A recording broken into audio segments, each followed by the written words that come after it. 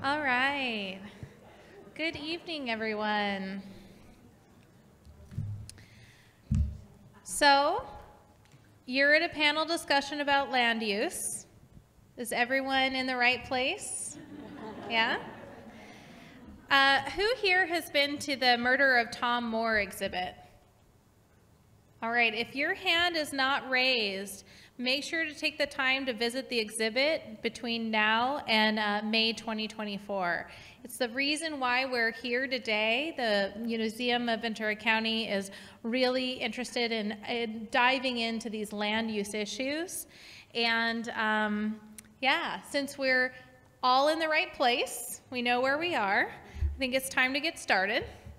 So I'm Maureen McGuire. I'm the CEO of the Farm Bureau of Ventura County, and I'm really honored to be with you guys here today. And I was really thankful to be part of helping put this discussion together and um, you know connect with these esteemed panelists. And I also want to thank you all for being here today and being part of this discussion. As we begin this event, we acknowledge that we are on the traditional land of the Chumash people who have stewarded this land for more than 13,000 years. This land was founded upon the exploitation and violence against indigenous people and the unceded territories of the Chumash communities. As we move forward in our program, we are mindful to honor these ancestral grounds and support the resilience and strength of the Chumash people today. Thank you.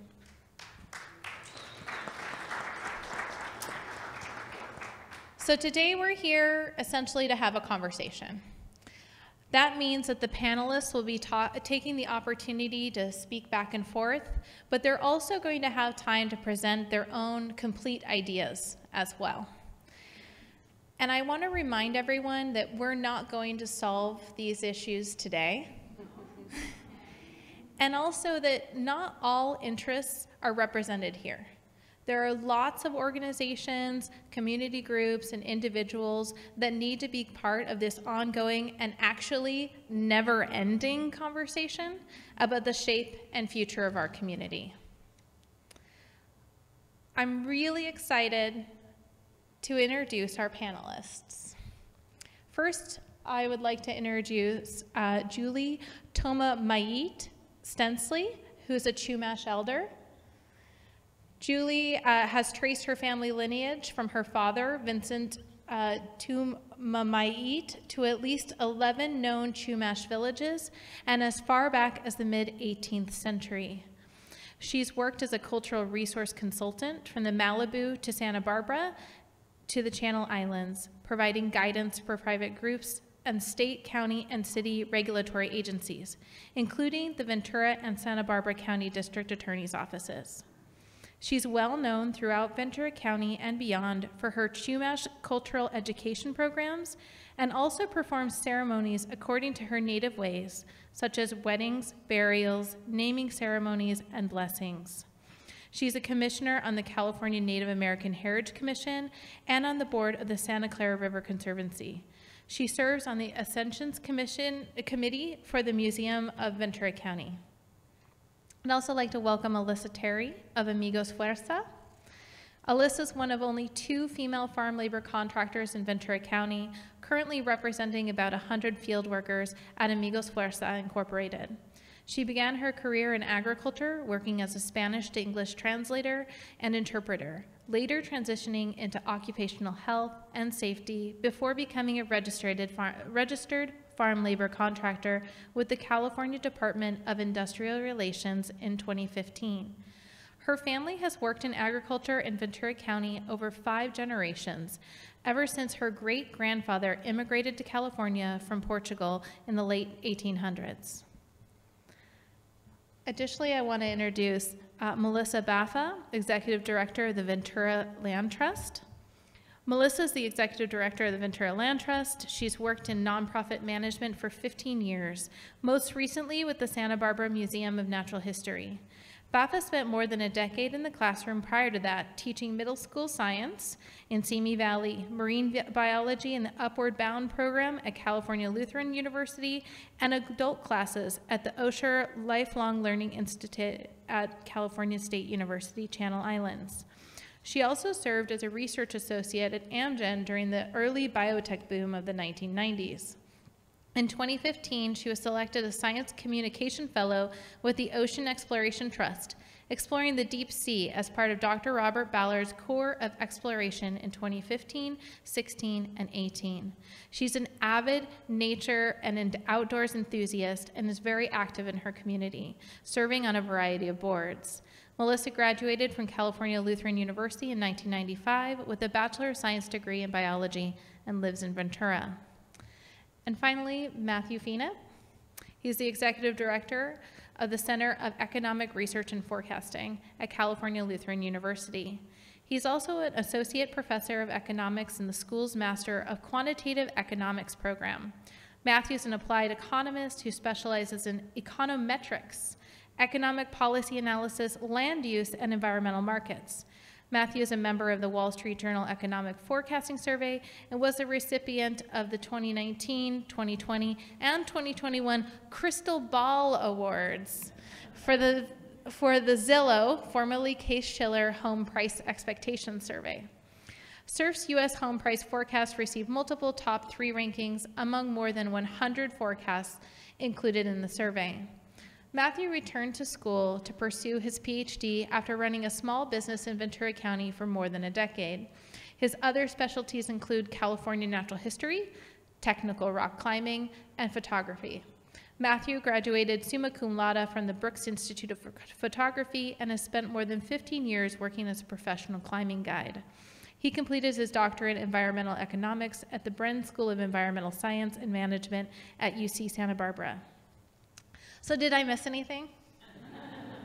All right. I am so struck by the caliber of people that we have up here. And I'm really looking forward to this conversation. I'm going to ask a series of questions, and we're going to pass the mic around from panelist to panelist, and I'll guide you on the order in which we're going to answer the questions because I want to hear from different people each time in a different order, and just sort of get a variety of perspectives. So, our first question, and I have to pull up my timer because I will just let it go on the more that I get uh, intrigued by the answers. But we're going to try to do about three minutes each. Uh, Layla is here to help guide people, but it's not a strict guideline. We do want to have conversation and a little bit back and forth.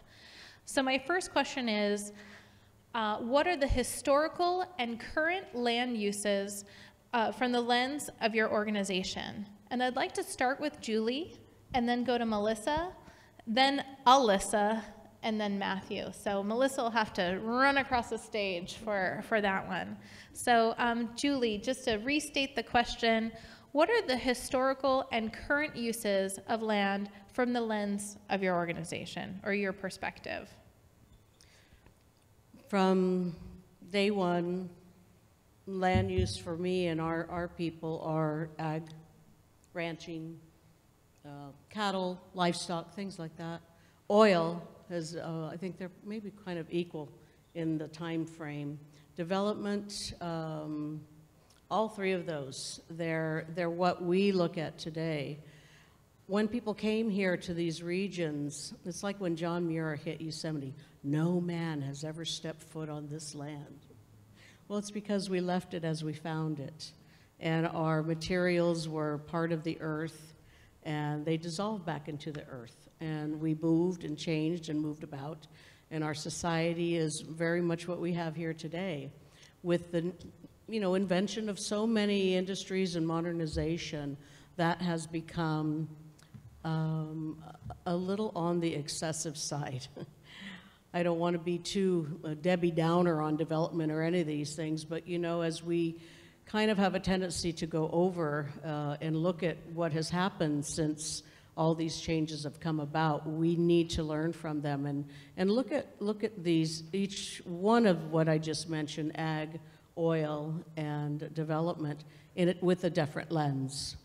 and where things have come about. SOAR, for instance, and where, you know, to balance that place of open space.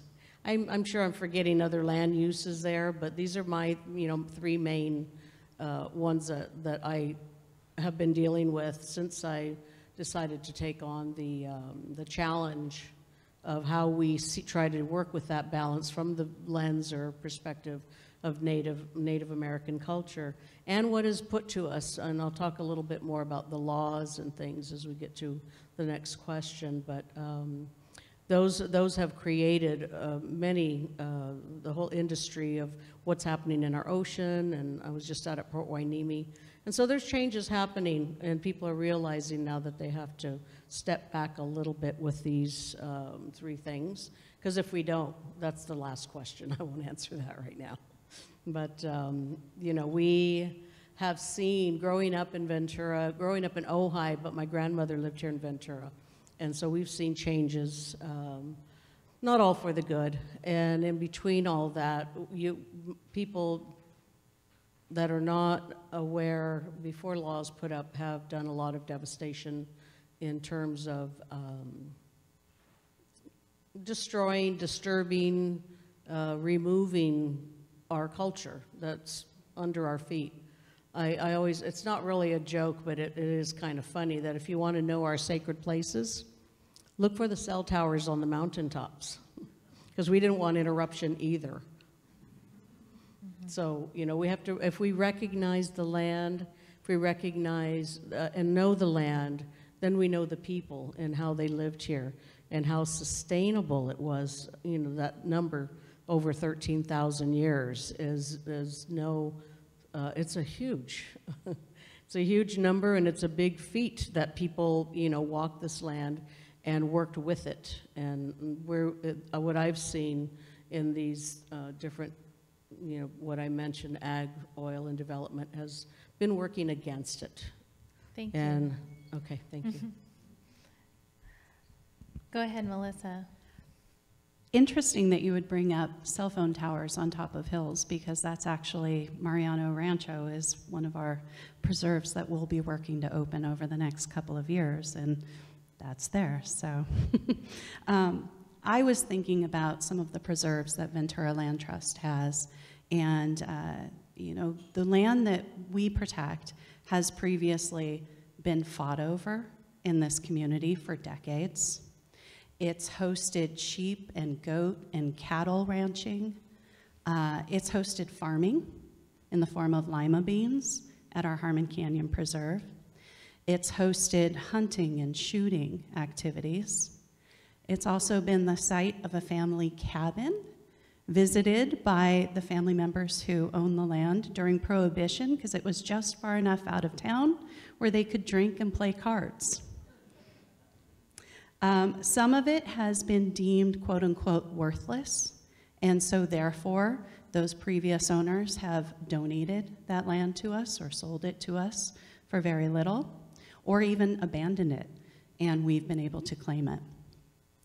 Um, past and current, the land that we preserve has hosted oil and gas infrastructure, uh, utility infrastructure, communications infrastructure, like Julie mentioned.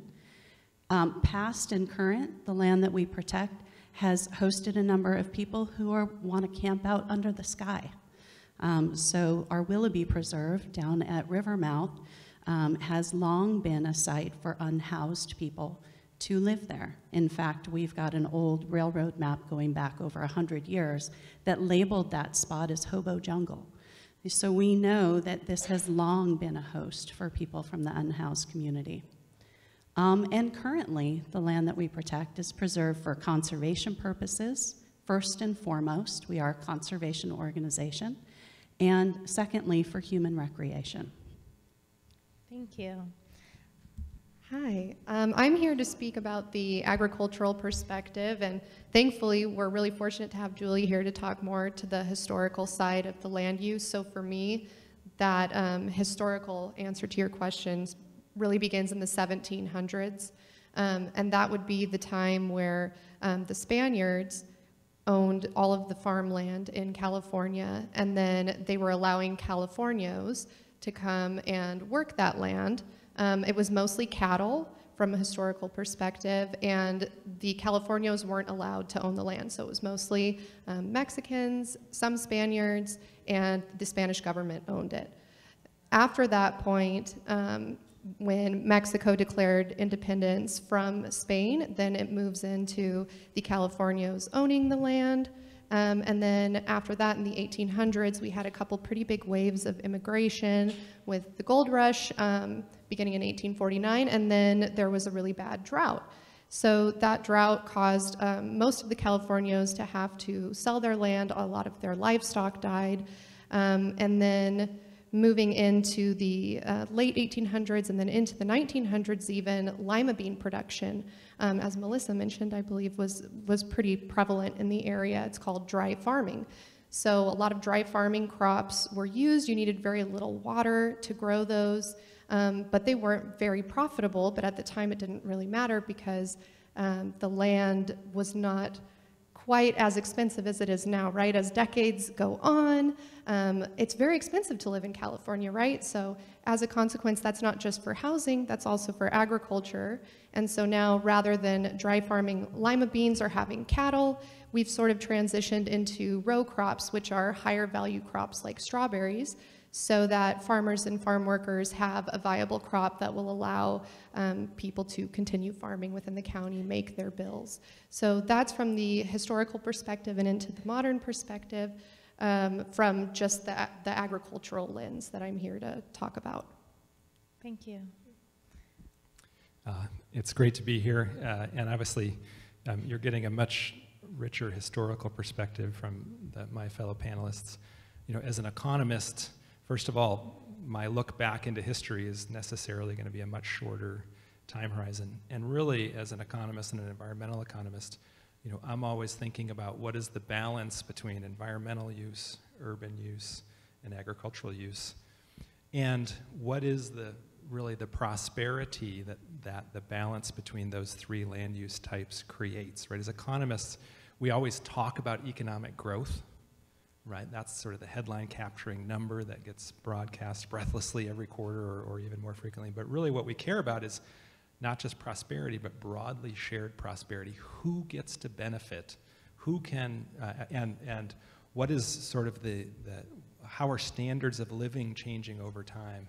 And, and maybe most importantly of all, what is the economic mobility that the balance between those three different land uses produces, right? And, and interestingly, uh, you know, Ventura County's sort of economic history is tied to land use very intimately. Basically, from the 1960s through the end of the last century, Ventura County, first of all, had a relative abundance of, of uh, open space and undeveloped land. Uh, and as a result of that, it was a real economic hotspot in the state. In fact, in the 60s, the population of Ventura County almost doubled. In the 70s, it, inc it increased almost 50 percent. Uh, and even though that population growth slowed over time, Ventura County's population always grew more rapidly than uh, the broader state, and really because of the abundance of land. As population was growing, open space and agricultural land were being converted to developed uses, to housing, and also to uh, commercial and industrial space, right? And it produced an abundance of economic growth.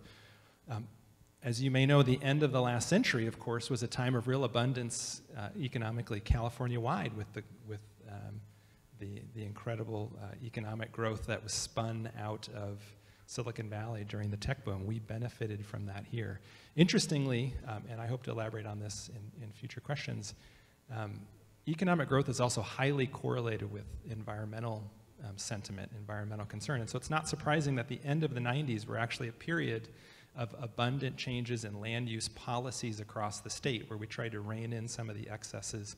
And, and literally, um, uh, by the end of the last century, um, there were about 25% of all metro areas in the United States had some kind of land use restriction, urban growth restriction. And in California, during those last few years of the last century, 37 different communities had ballot measures reining in um, land use uh, and urban growth. Interestingly, Ventura County actually engaged in an experiment and adopted the most stringent urban growth controls of any county in the United States. Uh, and, that, and that has had an impact on the economic trajectory of the county. It also means that it's had an impact on um, how broadly shared prosperity is, um, how, how much economic mobility is available in the county. And just to leave you with sort of two pretty arresting statistics, in the 80s and 90s, Ventura County routinely scored among the most, the highest economic mobility of any county in the United States. The opportunity for a child to be born in the lowest quintile, income quintile, and during their lifetime move to the top quintile was better here than almost any county in the United States. Unfortunately, in the economic uh, uh, two, first two decades of this century, um, there's been a very different trajectory for the county. And in fact, you know, in 2014, Ventura County actually ranked as 96th out of the 100 largest uh, metro areas in the United States for economic mobility. That's to say we're one of the most unequal, um, and, and as we'll talk about, some of that is related uh, to land use. Uh, and so land use is intimately tied um, to the economic history of the county and in ways that I think are important to balance. Great, thank you. So now you've got to hear a little bit from our panelists. I feel even more excited about the rest of this panel, right? I mean, the perspectives that people are bringing forward. Like I said, it's not every perspective, but boy, I am just really thankful for you guys being here and, and sharing your, your perspective with us here today. So our next question is actually a two-part question. So question one of two. What current attitude, beliefs, or policies affect your organizations or your perspectives, goals, and how? And then what improvements would you like to see in how land is used and managed? And I'd like to start off with Alyssa and then go um, Matthew, Melissa, and end with Julie. Sure, yeah. So something that is um, really challenging in the agricultural industry in Ventura County is something called ag-urban interface. So something unique here is that we're probably one of the only places in the country, or one of the most common places in the country, where you could find an acre of ag land right next to um, a a park right next to a school, another little tract of ag land, and then a busy shopping center, just an example. And so that affects how we in agriculture can do our jobs because we need to be mindful of our neighbors, right? And a lot of that mindfulness has come about in um, different regulations, ordinances, laws um, that are unique to Ventura County. One of those is SOAR, which stands for Save Our Agricultural Resources. Um, another one of those is um, just water regulations. Um, and then uh, with the ag-urban interface comes um, noise ordinances, uh, comes um, buffer zones for different types of organic and conventional um, fertilizers and pest control.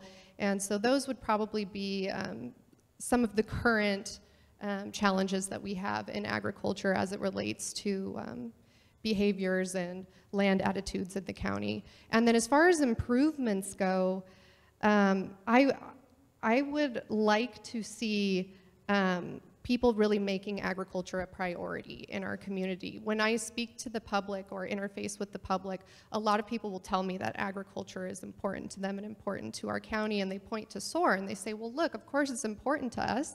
We passed something um, to save our farms, right? But when it really comes down to making some of these tough decisions or tolerating um, noises and smells that come from farms, I've found that it doesn't really seem to be the case in practice. So that's something I would like to see change. A really uh, good example of that, I think, was the hemp moratorium um, that went into place. I was a part of those hearings. Um, I brought around 30 farm workers to those hearings and set up um, translating for them so that they could participate in those. And um, you know, resoundingly, everybody wanted to work in hemp. It was really seen as a savior crop for our community, especially with um, water restriction challenges, living through a pretty big drought, obviously, and having lots of um, pest challenges with uh, bugs like the Asian citrus psyllid. And so uh, that was disappointing to me to see that our community, rather than rallying around our farmers and farm workers and supporting a really innovative crop like hemp, decided that because it smelled bad, they didn't want it near them. Um, so that's uh, an example of something I'd like to see change. Thank you. Um, to sort of jump off Alyssa's comment about the ag-urban interface, one of the things that's interesting about Ventura County is we do have the most abrupt ag-urban interface that you will find anywhere in the United States. In fact, you might have $2 million an acre prime residential on one side of the street, and on the other side of the street have agricultural land, you know, uh, that may be worth $100,000 an acre. So it's not just the most abrupt visually, it's not just, it's the most abrupt in terms of property values and other measures. And, and so really, I sort of see one of the primary, the, the one of the primary uh, land use issues from the perspective of, an economist is the need for more housing. Um, so we have this abrupt ag-urban interface because between 1998 and 2000, we passed a series of land use restrictions in Ventura County that capped, set a strict urban growth boundary, capped the amount of developable land, and then requires ballot initiative, in, in many cases, a vote of the county electorate to, to move those um, growth boundaries. There is no consideration of future population growth. We don't forecast future needs. And this is one of the reasons that by most estimates, we are now have a deficit of about 30,000 housing units. And that's having a really meaningful impact on economic growth and more importantly on prosperity and upward mobility. Um, and so, um, um, yeah, so I think this is sort of one of the, we need to, we need to have a candid, and I think we're doing it here today, a candid conversation about how we balance, um, balance competing demands on the land. And, and I really think there's going to be some questions later in the discussion about collaboration and, and creative ideas. What's really interesting is that there is some really, Ventura County is incredibly innovative. There's really interesting stuff doing, happening. Demonstrations that you actually can balance a lot of these needs. You can do what's right for the environment at the same time that you're housing your workforce and creating upward mobility for all. So that, that's the kind of stuff I get really, really excited about. Um, I do just want to share some, some more numbers since I'm an economist, because um, I think this may surprise some of the folks in the room. I've talked about the change around 2000 in the economic trajectory of Ventura County. Again, we went from one of the economic hotspots in the state um, and one of the most upwardly mobile um, uh, and economically inclusive counties um, in all of California um, to one um, where there's less inclusion. Um, total economic output in Ventura County peaked in 2007.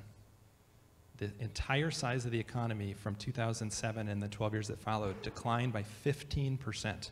The total economic output declined. $13 billion of that was in biotechnology as businesses and jobs relocated to other parts of the country. The civilian labor force, the number of people in Ventura County with a job, peaked in 2012, right, and is now down about 5%. There's 5% fewer people living here today who have a job than there was in 2012. The population peaked in 2015, right, and is on a, now a, a, fortunately not a steep decline, but it is an accelerating decline. In fact, net migration more people leave every year Ventura, from Ventura County to somewhere else in the U.S. than come, and that outmigration is accelerating. Uh, jobs is sort of the bright spot, right? Jobs are actually at an all-time peak today.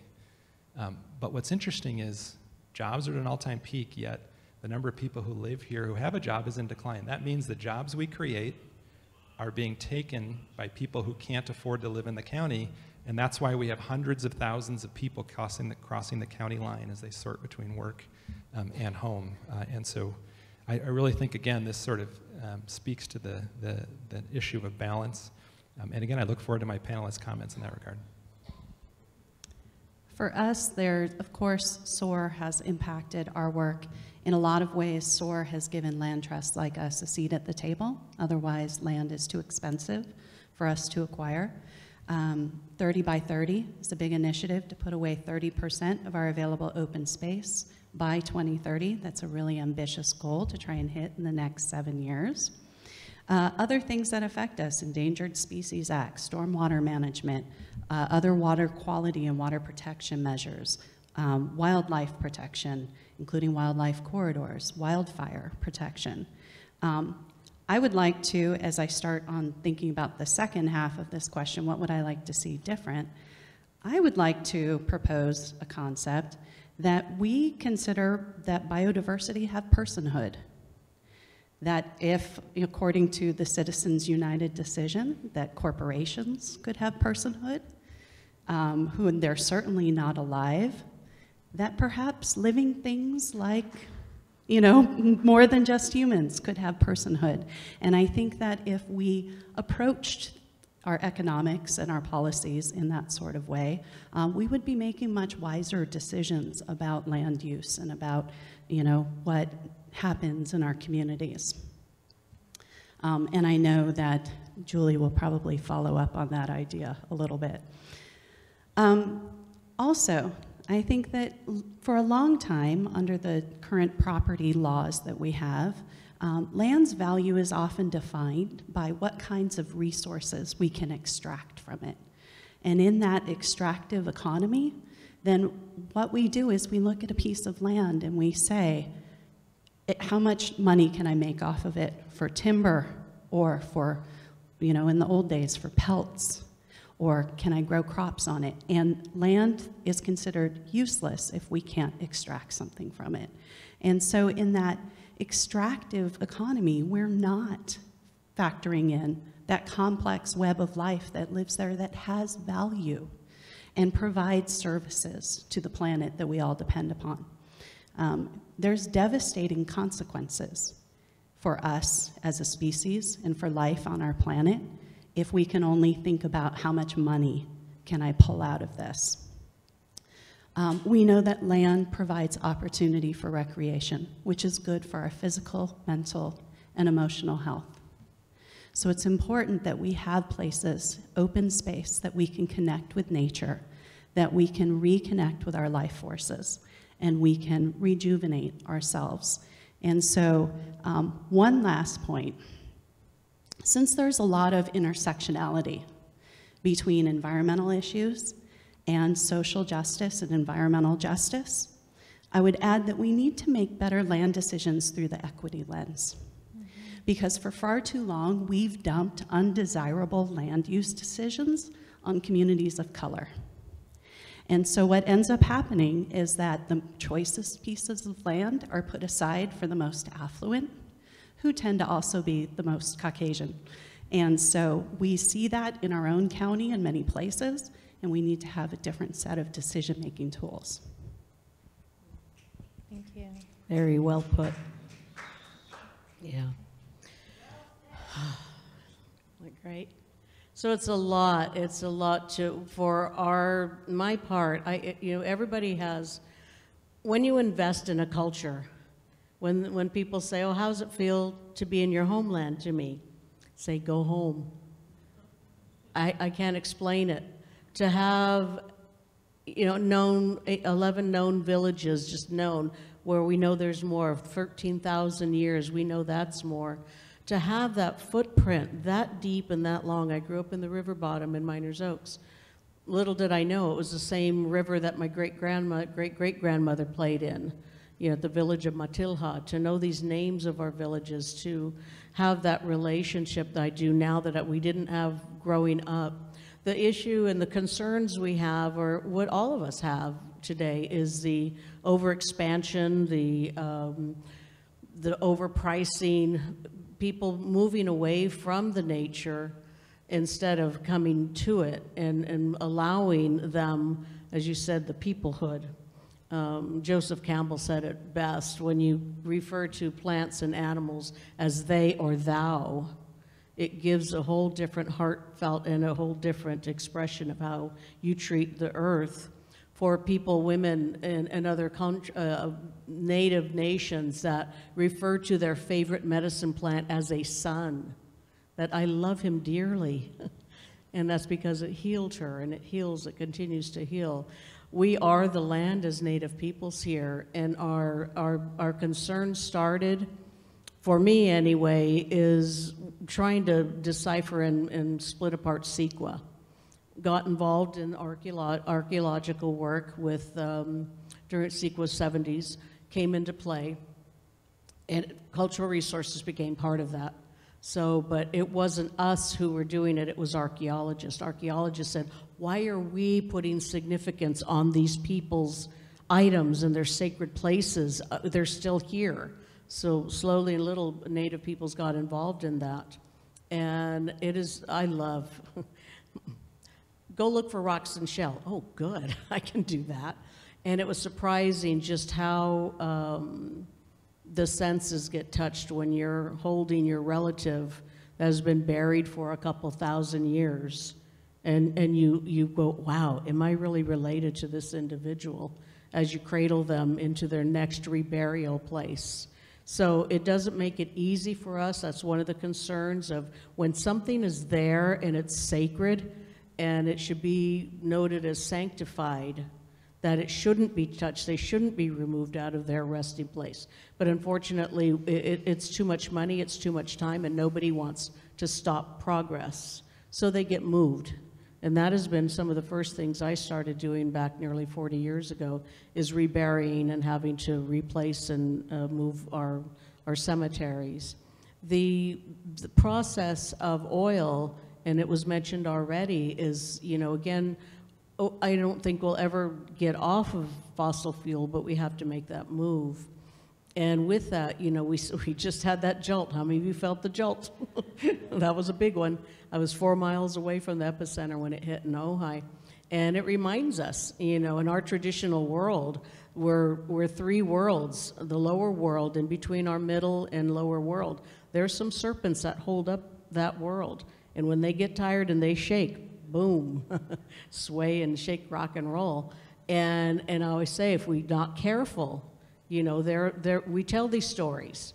We tell our stories, and, and all around the world we have our stories that we need to remind ourselves of.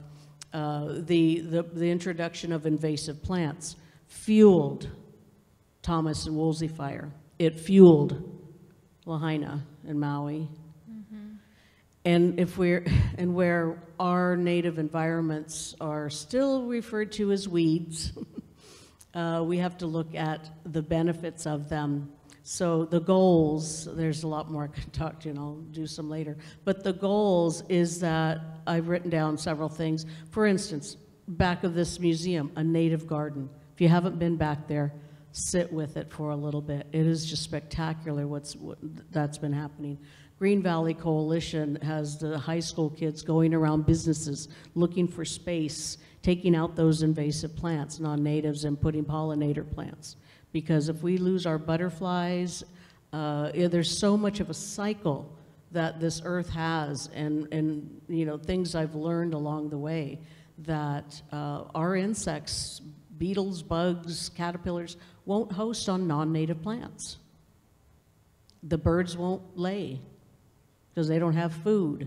So it's a cycle that goes on. We need to start recognizing these things. So they're, they're putting the pollinator plants in. They are um, other places in Ojai, city of Ojai, restored Middle Stewart Canyon. It's an immediate reaction when you remove non-native plants, the eucalyptus, the arundo, the eucalyptus on Santa Cruz Island within an hour after removing a grove, water's filling in the cistern. That's how fast it was happening to return. And where I understand people coming in here, coming in from another land, I'm not leaving my plant home. I'm not leaving for them their medicine. They don't know where they're coming from. So I was dissing English ivy. And you know, during COVID, people were using for COVID English ivy and yerba santa, our, two, uh, the, our native respiratory plant, and English ivy is a respiratory plant for those of you who don't know. So in combination of two, people were using them. So now I don't diss them anymore. It's not their, it's not their fault they're he- here. They were brought over against their will. But I mean, people move. People move from aggression, from, you know, uh, poor, you know, uh, enslaving, even with their own people in other countries. You come to another place, you see the beauty of the land, but you dismiss the properties of it. So the goals are, is to reintroduce yourself to this land. Find out the benefits of our native plants. We could live like native Chumash people, except we don't, we don't want to. It's too slow. we just got to get it all right now. So, but I mean, for your own benefit, for your own yards, for your own water bills. I knew water was, 10 years ago, I was talking about water wars. And, you know, again, these rains that have come, uh, we don't diss those things. We actually pray for them and brick call them in. And so do still a lot of indigenous peoples around the world. So, you know, um, Zuni, we just got to see a, a ceremony of them bringing in the Kachinas there in the Pueblo, just calling in the last ceremony to call the rain in for the year, and it is powerful. You won't see that here because there's not enough of us invested in that. Not yet, anyway. Those are some of my other goals too, is to get. Now, I don't want you to be Chumash and doing our ceremonies, but you have them too. You Yeah. have them. You have, everybody can bring their prayers in, and I think they're, they are powerful. So when we look at, at what we've done so far, um, I don't know if you know Net Zero, Drew Shula, he's in LA. I attended, oof, probably five, six years ago. 40% of the carbon emissions come out of the high rises in LA. 40%. That's a lot. So we think about what we've, what we've done so far and how we can pull it back a little bit. And housing, oh, yeah. That's, that's, that is a big one, and we are desperate. We are desperate for that. We shouldn't, you know, the oil companies with the fracking, you know, again, that's, get back to those earthquakes. We don't need that. We just don't need that. And to put, you know, facilities and, and infrastructure in disadvantaged communities is, uh, it's not right. It's their health and their well-being that's at stake. So it's, it's the, it's the needs versus the wants is where we have to start looking at and, and how we live. So I think I'm done. Yeah, thank you. You know, it's a great transition. I think you um, really connected with our next question uh, as well. So uh, thanks for teeing it up. And um, our next question, and I'd like to start with Melissa, and then if there's anything that Julie wants to add, and then go with uh, Matthew and end with Alyssa. So the question is, how are different stakeholders working together in all of the land uses? So, on behalf of my organization, we partner, collaborate, communicate with a number of different organizations and coalitions local, state, federal government, uh, SOAR, national, state, and county parks, Caltrans, um, because of the uh, freeway at Willoughby, right? So, Caltrans is right next to us there. Um, utility and energy companies, as I've mentioned before. Um, the Ventura County Resilient Ag Lands Initiative is something that's been going on for a number of years, and uh, we have a seat at that table. Uh, we collaborate with the Chumash, uh, particularly if we are going to put in uh, new trails or other features on our preserves. We have monitors who come in um, and uh, consultants. And um, river, uh, river or watershed protection groups for both the Ventura and the Santa Clara River watersheds, uh, other environmental organizations and coalitions, and other non environmental nonprofit organizations. Um, for example, this past week we partnered with Diversity Collective um, to both host a booth at VC Pride on Saturday, but we also hosted a Pride hike uh, at Harmon Canyon Preserve because one of the things that many of us here in open space is that you know these na- na- um, natural lands that we are protecting don't feel welcoming to everybody. That um, many people of color feel like they aren't welcome, or people from the LGBTQ plus community don't feel welcome or don't feel safe. And so that's something that we are actively trying to change on our lands. Uh, if you have hiked at Harmon, you may notice that it's a very welcoming, friendly place. And we've consciously tried to cultivate that. Our staff always wave and say hello to people and stop to talk. We've recruited a number of docents who are also very outgoing, and um, that's just something that we really believe in to our core. Um, school districts, both Ventura and Rio, we've partnered with Cal State Channel Islands, other land trusts, Land Trust Alliance, which actually provides our accreditation, making sure that we meet those standards that are set forth, the California Council of Land Trusts, private landowners, and community members. So, as we're working to open up Mariano Rancho to the public, we've had a series of community meetings in which we have asked the community to participate, to learn about some of our plans, and provide feedback. It's really important because we recognize that the decisions that we're making now will have impact for generations upon generations. And so, we're trying to be very thoughtful and deliberate. Thank you. Julie? So I was told through um, Dr. John Johnson out in the Santa Barbara Museum of Natural History says, you know, your family and all the other families who live out there in Ventura and around, you all have the great potential and the proof of ancestry that you can get federal recognition.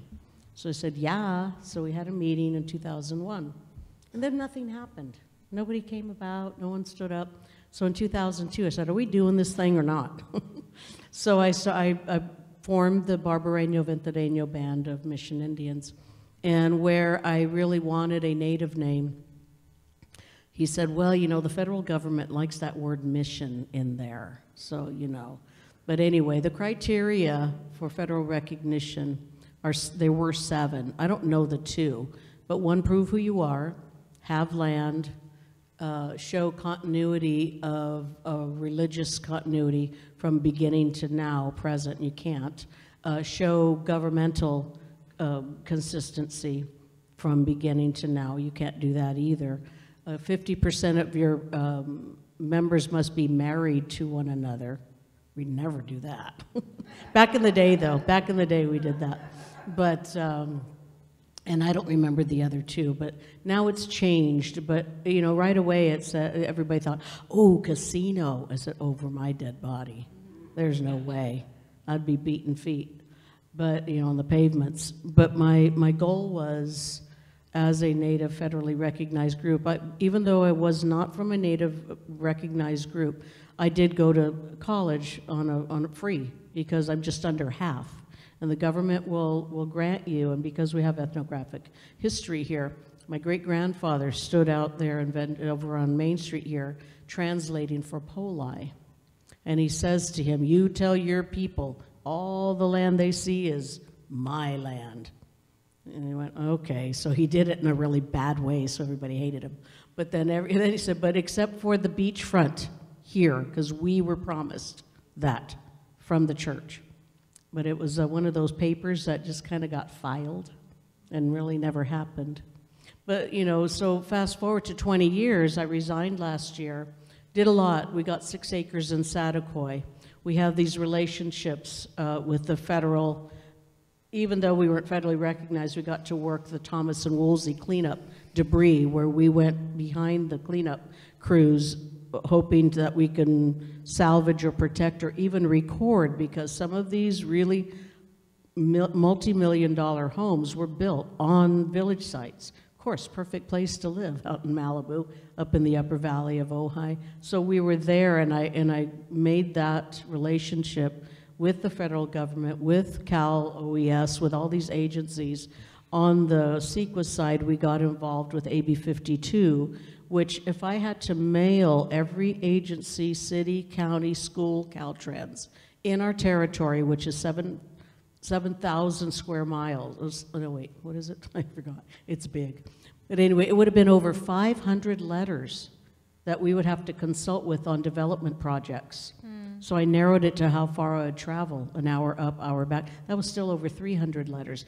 CEQA AB 52 made it our responsibility to contact these people, saying, we want to know what you're building, where you're building it, and we want to be there to be able to protect our culture. That became, back in, when CEQA first started, Native peoples were monitoring for 18 bucks an hour, which was good back then. Now it's, and to me, that's not a job, it's not a business, it's a responsibility. And I do that kind of work as well as, you know, the schools, the relationships uh, that I've built with the schools in that mission period, little fourth, fifth grade. Uh, We're changing it. We're going to change it to environmental literacy. But we're going to keep mission period because the seniors up there need to know this stuff and that environmental justice you're talking about. Yeah, excellent. Thank you so much, Julie. Yeah. Go ahead, Matthew. Uh, Great. So, you know, the question was around uh, how are people, how are stakeholders working together? Uh, And I've seen some exa- awesome examples of that. In every case, the pattern is, just to echo two things that Melissa said. Number one, widespread recognition of the value of the environment, and that environmental conservation, environmental quality directly enhances quality of life. That recognition has been essential to the stakeholders working together. And then the other one is equity, right? Um, I didn't mention in the other economic statistics, sort of Ventura County's economic puzzle since 2000 has been, as I've already mentioned, total economic activity has declined sharply. The number, the population and, and uh, labor force are declining. The number of high-paying jobs have been uh, receding. And yet, what's been happening to home prices? You know, if I told you if this was Econ 101 and I said, well, those are the conditions, what must be happening to home prices, you'd say they'd be declining. No. Just uh, in June, the median single family home price hit $928,000 in Ventura County. It's, it's astronomical, right? And that, that means that um, there's real equity issues, implications to um, housing policy in Ventura County and housing's linked to land use. So that broad recognition on both sides of that, I'm actually going to quote somebody in the audience. Drew, I'm going to put you on the spot. Uh, so Drew Powers, city manager of the city of Thousand Oaks, he said it really well. He said, I like to look at it as a triangle. You have jobs, the environment, and housing, and in the middle of that triangle is quality of life. When in balance, you have investments in all three of those areas right? That is so true, right? Uh, and so it's that broad recognition um, that I think has produced some of the most exciting collaborations that I've seen. Prior to, um, to uh, COVID-19, um, in, we actually assembled a group called the Housing Solutions Working Group. Linda, I hear it was a very, very uh, valuable contributor to that process. And the idea was just to put as stakeholders representing um, all as many stakeholders as we could represent in the room. In fact, the executive director of the Ventura Land Trust at the time was a very, very uh, valuable contributor. And the idea was, okay, so how can we work on the housing issue in a way that also invests in, in pr preservation of environmental amenities uh, and so on? Uh, and some really exciting things came out of that.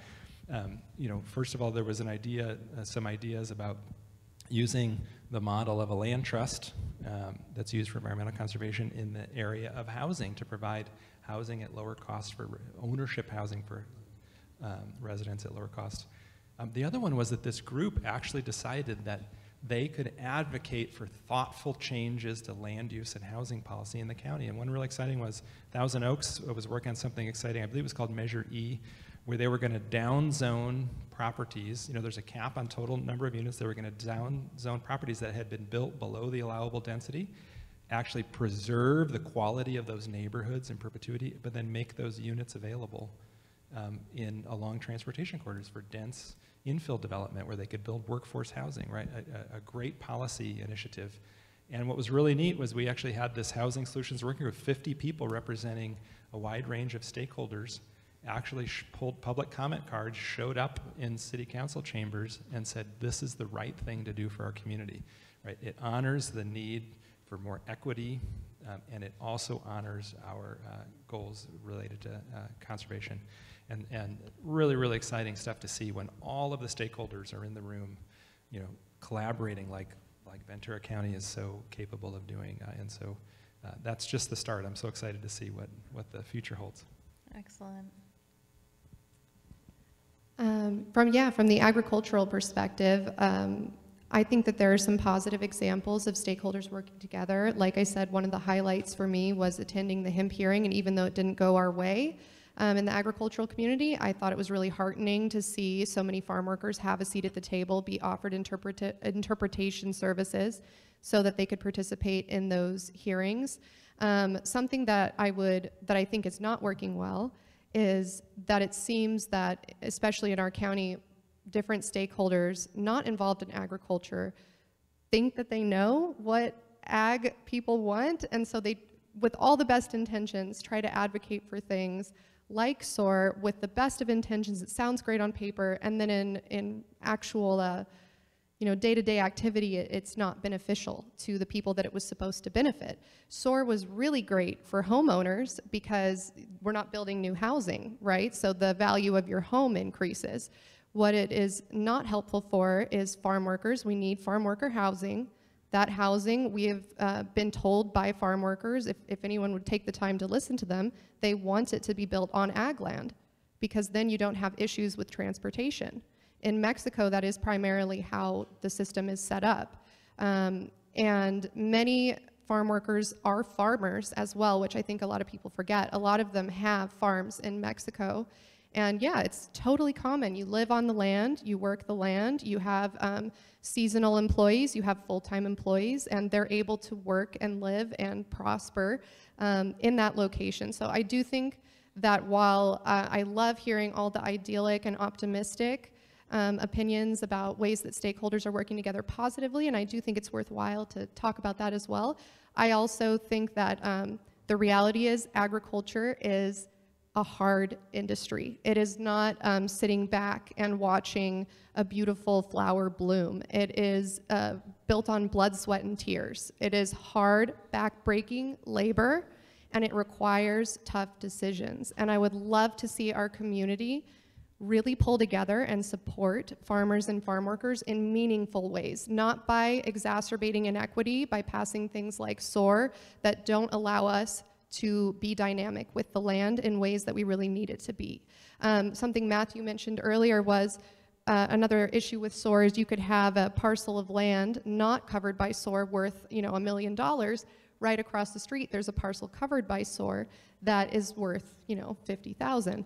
And while I do agree with Melissa that we can't just say, well, you know, land's worthless if we can't extract anything from it, the reality of the situation is we need to be able to grow food to live. If we don't have food, we cannot eat and everybody dies. And it really is that simple.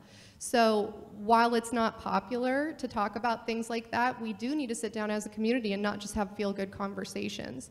Um, another issue with SOAR is what we are seeing is farmers from the OC who have generational land not covered by SOAR because it doesn't exist in their county, um, through something called a 1031 exchange, are selling their land for millions of dollars, coming into Ventura County, buying land for pennies on the dollar, and not paying taxes on those capital gains.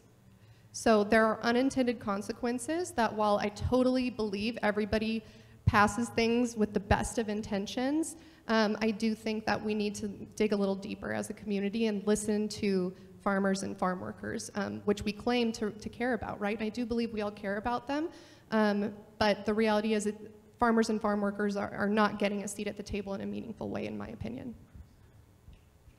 Thank you. Actually, keep your microphone because I want to um, switch it up a little bit. And this question I want to start with um, Alyssa, then go to Matthew, Melissa, and Julie. Um, so the question, I think this is kind of like the ultimate question of this panel, and it's the question I ask myself a lot about the work that I do sort of in advocacy for agriculture, and it's the question about the future, right? And when we were writing these questions, Layla and I, we thought it would be really interesting to split it up into categories or time periods that feel close and that also feel far away. So the question um, is, how do you envision the landscape of Ventura in 10, 20, and 50 years from now? So I want to start with uh, Alyssa. Um, with or without SOAR, I'm here to tell you if we continue on this trajectory, we will not have agriculture here anymore. Um, if we continue to keep SOAR, what you're going to see is fallowed land because we have to make tough decisions about water, which I mentioned earlier. Um, I know in the Oxnard Plains, farmers in that area are looking at um, needing to cut down 40% their water usage over the next 20 years to recharge the aquifers. Um, now, I mentioned at the very beginning um, with the first question that was asked about the way that agriculture has changed over the years. And what I was trying to, to really drive home is that we used to be able to dry farm stuff. Um, and now, as land costs increase, inflation goes along with that, um, we can no longer grow those dry farm crops because they are not high value crops. Um, and like I said, the reality is we do assign a monetary number to these items. Um, so we have to look at high value crops and grow those in order to maintain the land. Strawberry is also a water intensive crop. You need a lot of water to grow it. Um, now, I don't view that as wasted water personally. I view it as I think that farmers and farm workers export water because that water is directly used to grow something useful to sustain life. Um, but I know a lot of the public um, in different hearings that I've been to with the Ventura County Board of Supervisors feels that ag really needs to cut down on water. So in the absence of an alternative solution, um, which are also not popular, like using recycled water, um, taking water from the river, stormwater capture, desalination, there are pros and cons to all of these, right? I'm just throwing out a few. Um, in the absence of really doing something like that to provide more water to our farmers, farm workers aren't going to have jobs, and that is my principal concern as a farm labor contractor. Farmers are going to have to follow their land. They're not going to be able to sell it because who wants to buy land that doesn't have water rights to grow anything that can actually pay the bills? Um, so that is the trajectory that I see us on. Now, in an optimistic perspective, I'm super glad we're having this conversation because I really think that I don't think it's malice that these things are happening. I think people are just unaware. Um, and so I, I'm hopeful that we'll continue to have these conversations and that the public will speak up in meaningful ways. And I think one way that might be something people want to consider is um, agriculture is an industry, it is a job, and it is not for um, public benefit. And what I mean by that is it's not a park, right? But we could change that if we wanted to um, let the public have input over what time our tractors fire up in the morning. That's something I've heard before in front of the uh, Ventura County Board of Supervisors. We'll have people come in and say, oh, the, I live next to a farm and it's beautiful, but gosh, they're so loud. Five in the morning, they're firing up their tractors, I can't sleep. All right, well, there's reasons why we do that, right? And it's because it's a business and crops never stop growing. And also, from uh, the farm labor perspective, we need to avoid things like heat illness, which is a very real concern working outdoors under the sun. So, we need to start a little earlier sometimes. But if the public feels that they have the right to impose some of those things that are not beneficial to the business side of agriculture, then maybe we can look at subsidizing, right? And then that would really make the public have a vested interest um, in agriculture and be able to um, you know, set certain parameters that are convenient to the public, not to the farmer and the farm worker, right? So I think that that is one perhaps positive way that we could move forward and look at 20, 30, 40, 50 years down the way and find something that maybe is mutually beneficial to all parties. Thank you. Matthew? So um, I think in the sort of 10-year horizon, unfortunately, um, Ventura County's sort of economic trajectory looks a lot like the last 10 years. That's to say, um, you know, unfortunately, less economic inclusion over time, growing inequality as we sort of, uh, as we live with some of the uh, decisions of the past. But I do really see that the 20 or 50 year tra uh, trajectory for Ventura County is much, much brighter um, I sort of hinted at this in the collaboration I talked about before. I wanted to share one more quote. This is from E.J. Remson, who many in the room will know. So he's the senior project director for Ventura County for the Nature Conservancy. Um, and he actually said, and this is his quote, agriculture is a good neighbor to Ventura County's environment, um, open space and other environmental assets. Agriculture supports our conservation goals. So just as we saw the collaboration on the housing side, What's really interesting is, uh, you know, I see uh, EJ and the Nature Conservancy have been part of some really powerful collaborations with agriculture, like working to invest in the sustainability of agriculture. Um, they designed a system to purchase uh, flood rights along the Santa Clara River, right? Farmers could channelize the Santa Clara River so that it doesn't flood on, onto their farms. And Nature Conservancy says, hey, guess what? Let it flood and we will make you whole economically. We will pay you to let the banks overflow because that sustains a, uh, a healthy riparian ecosystem, right? And so that's really exciting collaboration. And so in each of these cases that I've talked about, again, it's this recognition of, uh, of the value of the environment and environmental conservation, all of the services, the environmental services it provides us, right? It's also understanding of the, of the, of the really acute need to build more housing, right? And that will, uh, unfortunately, that will require uh, changes to, probably changes to urban growth boundaries um, in modest ways. And then there's also this recognition that actually agriculture isn't just part of the, cult, the cultural fabric of our community, it actually supports quality of life in Ventura County in a whole number of ways. Uh, and so it's those, that the sort of those common recognitions make me really, really bullish on Ventura County um, that I think we will see meaningful changes to land use policy, thoughtful changes to land use policy in the years ahead, that we will start to tackle the housing crisis, that will continue to support, permanently protect um, the, uh, the most important environmental assets, you know, the most uh, sensitive ecosystems uh, in, in, the county. Um, and, and, again, uh, uh, and I, I, hope start to, in more meaningful ways, support the sustain, long-term sustainability of agriculture. So, as a nonprofit person, um, we tend to think of things in terms of our strategic plan, which we develop at a five year stretch. So, 10 years, that's only two strategic plans away, right? That's going to come really quickly. Um, so, things that I can think of in the next 10 years our Mariano Rancho Preserve will be fully open to the public, more land in our region will be conserved. Um, broader than that, beyond our own, you know, nose, end of our nose, the development projects that are being approved right now in all of the different cities throughout Ventura County may or may not have been built by that point, depending on the state of the economy. Um, the wildlife crossing in Calabasas will be built. Thankfully um, and hopefully, there may be another one near the Conejo Grade here in Ventura County. There's a study going on about that right now. Um, and hopefully, the one in Calabasas, the largest in the world, it will be, will have been proven to be a huge success at that point. Um, vulnerable wetlands properties, um, like at Ormond Beach and McGrath State Beach, um, hopefully will have been protected and will be being restored.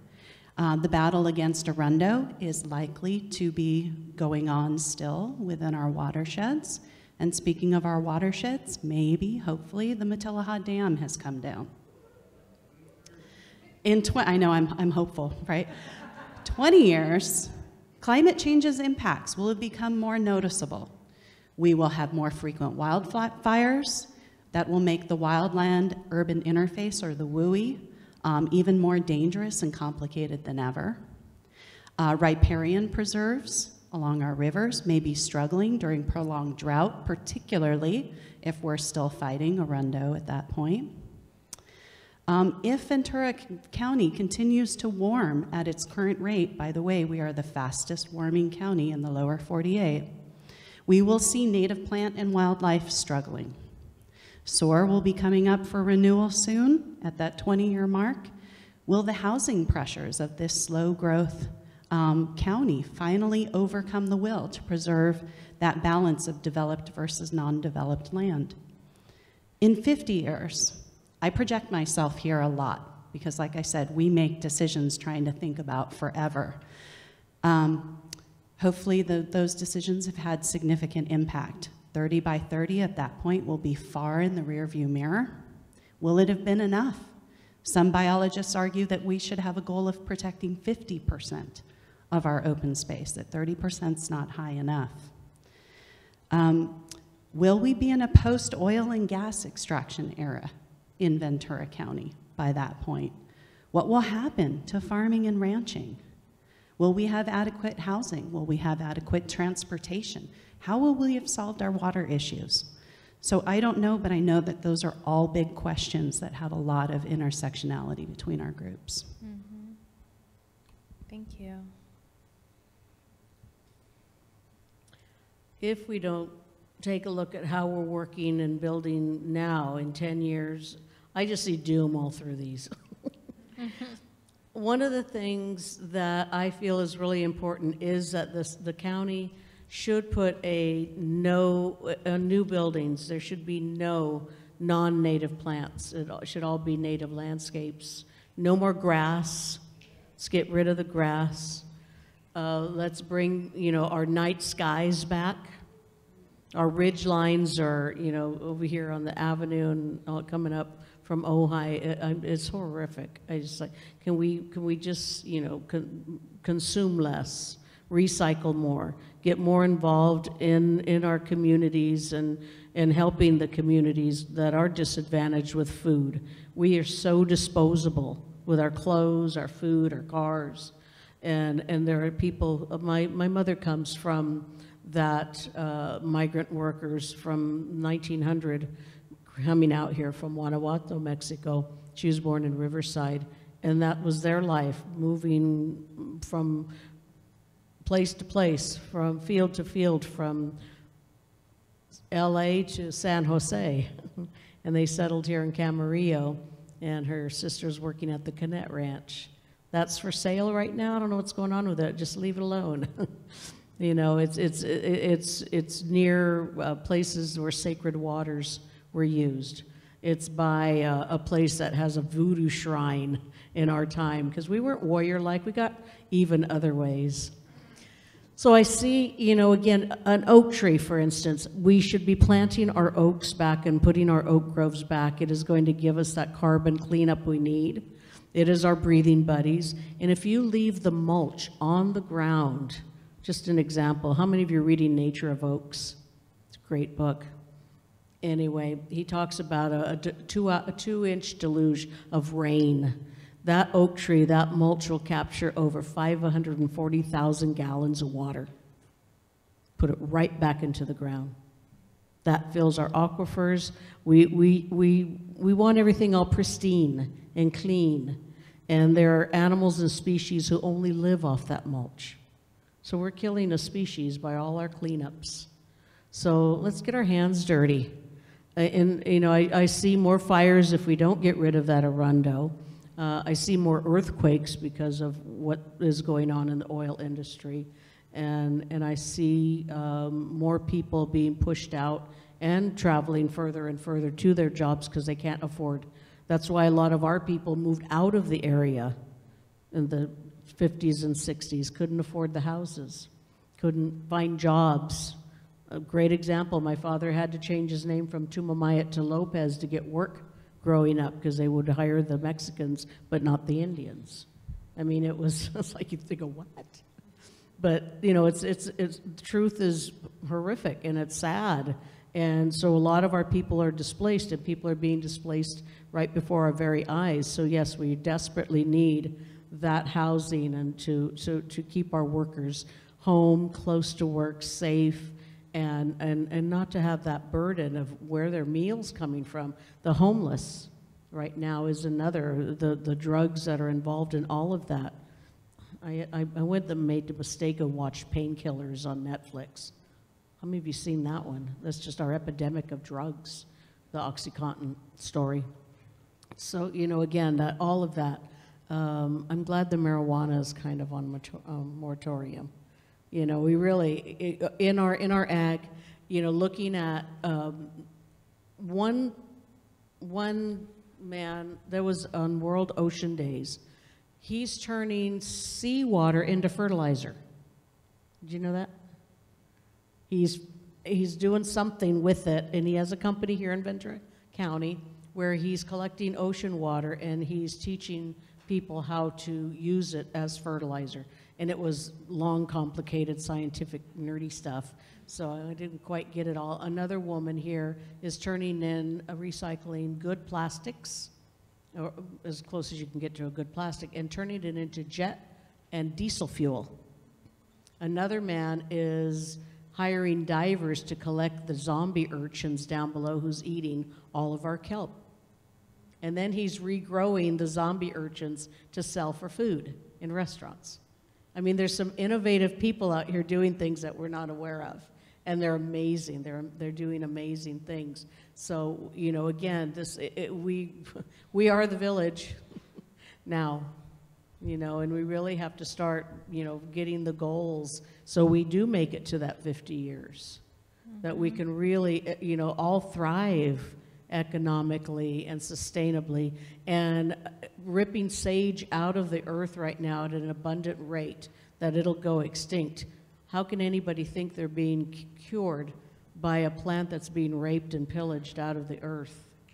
You know, and if you're not aware of that, it's getting torn out by the thousands and thousands of acres and being sold everywhere. I even saw it in New Mexico. And uh, we have, we got a lot of uh, work to do in educating people in, in all of, everything we've talked about today. And I just, you know, I hope you pepper us with questions. Because I get kind of, you know, out there in my, my, um, my thinking. I want to, I, I loved everything that everybody, you know, we're all kind of on the same page here, and we have to be. You know, we have to really look at that place of helping one another. And, and right now, there's a lot of fear going on. Nobody wants to talk to anybody anymore. You don't want to look at anybody for fear. You know, there's so that that's not anything to do with land. That's just how our, our pressure is right now on everybody. So, you know, we have to just, you know, help ourselves, protect ourselves, and, and, and reach out. out. My mom, her, one of her, when you give, you get back sevenfold. Mm-hmm. Yeah. And it is so true. And so as we move in that place to, to help those who, for whatever reason, we don't need to know that reason. All you know is that's a brother or that's a sister and they need help. And the land, same thing. Those wildlife corridors are going to do some, some good, but when people don't stop at stop signs, they don't, you know, I'm gonna use my blinkers, it's nobody's business where I'm going. It's like, what? Uh, You know, it, it is, it is really hard right now, and we just, we, we're gonna get through it. But, um, there's gonna be some more stuff coming along, I just, I feel it. Great. Thank you so much for sharing that really inspiring message. I wanted, it's been a little bit since we heard from Melissa or, or Matthew, and I wanted to just see if you had uh, anything else you wanted to share, maybe uh, 60 to 90 seconds of thoughts uh, to help us wrap up. Yeah. Yeah, I think just in closing, I would just like to encourage everybody to take the time to meet a farmer and meet a farm worker.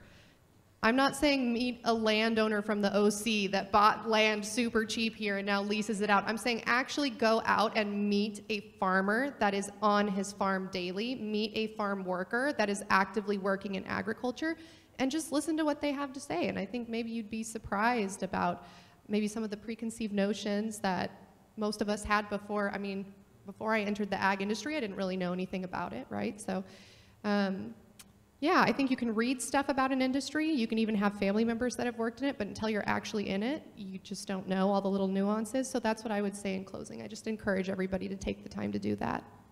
Excellent. Awesome. Um, going back to Drew's framing, right, that, that, that the balance is between jobs, the environment, housing.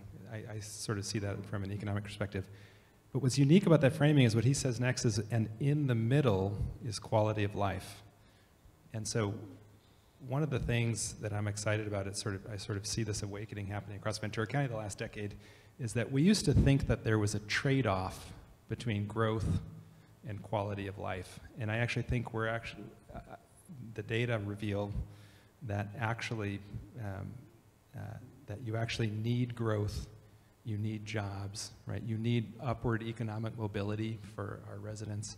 You need broadly shared prosperity to make sure that quality of life is accessible to all of the members of our community. Uh, and so I think that equity piece becomes really important.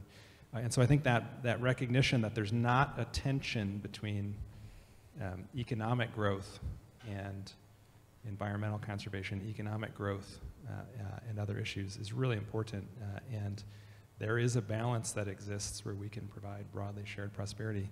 It does. It, it will necessitate some changes in policy at the at the county and local level. Uh, but again, I, I'm pretty excited that uh, that that that so many stakeholders are working together for common goals, uh, and so I really see a bright future for the county. Excellent. All right, Melissa, do you want to have the, the last word? Wow, this is such a treat. um, you know, land and water use are at the core of sustainability.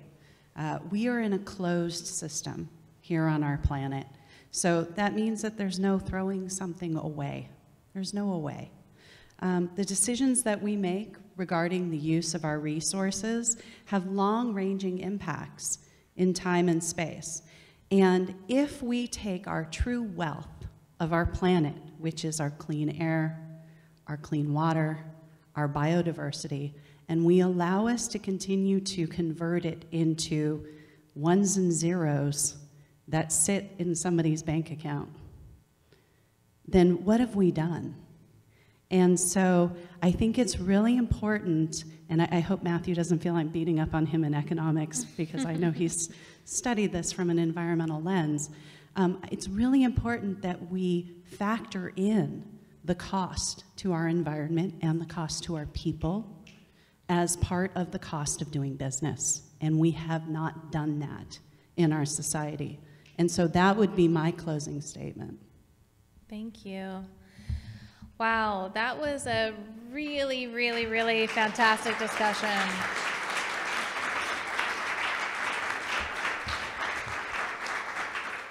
I really want to thank all of you. It's not easy to come up here and ha- answer these tough questions. It's not easy to stay in your time limit, listen to what other people are saying, try to adjust what you're saying. And, you know, you all did a fantastic job. And I think everybody in this room learned something and thought about something that they hadn't thought about previously. And I also I want to thank the Museum of Ventura County and especially uh, Leila Banoun Kaseke uh, for hosting this panel. We need spaces to have this kind of discussion, right? I was talking with John uh, earlier. You know, this is kind of the foundation of our democracy, right? Is having these public forums where we can dig into these deep issues and inform better decision making and everybody get engaged in shaping the future of our county. And I know that there was so much that was left unsaid. And I invite you to invite your neighbor for a beer or a sparkling water at one of our finest, uh, fine downtown establishments in walking distance, or hop on the uh, museum's Facebook page to continue this robust conversation. So thank you all for, for joining us today.